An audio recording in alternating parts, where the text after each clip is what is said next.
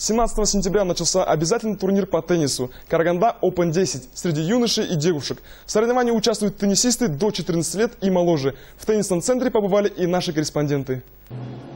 Во всем мире теннис пользуется большой популярностью. Миллионы зрителей наблюдают за этой захватывающей игрой по телевизору. Как известно, долгое время Казахстан был в стороне от большого тенниса, но в последнее время есть определенные сдвиги. Тому свидетельствуют призовые места наших игроков на международных турнирах. Обязательный турнир в Караганде проводится впервые. Отбор и выявление перспективных спортсменов для участия в международных соревнованиях – главная цель данного турнира, говорит международный судья Республики Казахстан. Построили теннисный комплекс буквально его открыли около года.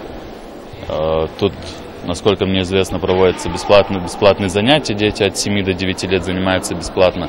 И, соответственно, идет развитие тенниса, у нас развивается так как игроки, так и тренера.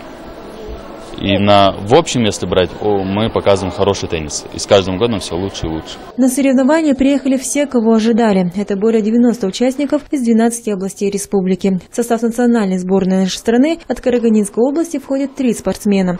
Сейчас в теннисном центре занимается порядка 200 детей. По словам судьи, все игроки достойны наград. Одна из участниц турнира – 11-летняя Иза Джолдакаева. В большом теннисе она уже 5 лет. На сегодняшний день у нее две золотых медали. В современном теннисном центре она, как и все ее ровесники, занимается как для души, так и для профессионального спорта. То есть я по смотрела, мне нравилось. Я заинтересовалась, да и маме вроде бы нравился теннис.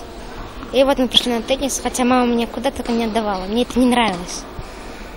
А вот на теннисе я уже остановилась. То есть мне нравится теннис играть. Я играю, получаю удовольствие. Как известно, теннис – вид спорта не из дешевых, и далеко не каждый родитель может отдать своего ребенка в секцию. Подготовкой подрастающего поколения занимаются тренеры старой закалки, которые немало лет провели на теннисных кортах. Это замечают и родители молодых спортсменов, которые ожидают от своих детей больших побед. Моя дочь Жулдакаева Айзат, она занимается 6 лет. Уже 5 лет, как мы занимаемся теннисом.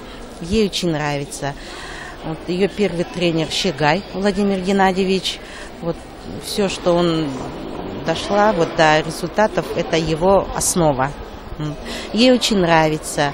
Хоть и дорогой вид спорта, но мы ни о чем не жалеем это все оправдается, и это в жизни ей пригодится, она лишней не будет. Самое крепкое вложение – это вложение в детей, я так думаю. А вот Ломакин Григорий в теннисе уже 7 лет. Усиленно занимается этим видом спорта последние три года. Как и у других ребят, у него есть свои кумиры.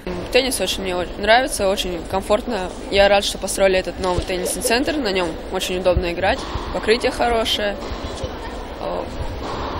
Ну и здесь все получается очень хорошо. Конечно, первая ракет, бывшая первая ракетка мира Роджер Федерер. Мне очень нравятся его удары справа, бэкхенд, форхенд, подача и игра с лед. Турнир будет проходить 7 дней. Игроки, занявшие призовые места, будут награждены призами от филиала Федерации тенниса по Карагандинской области. Турнир проводится впервые, и есть свои минимальные требования к проведению турнира первой категории. Большую помощь нам оказывает Мария Алексеевна Нефедова, директор Э, нашего филиала Федерации тенниса Карагандинской области. Э, вот, дети наши будут награждаться денежными призами и дипломами нашей школы. Амин Шалкарбек, Толигин Решитов, Евгений Афанасьев, Первый Карагандинский.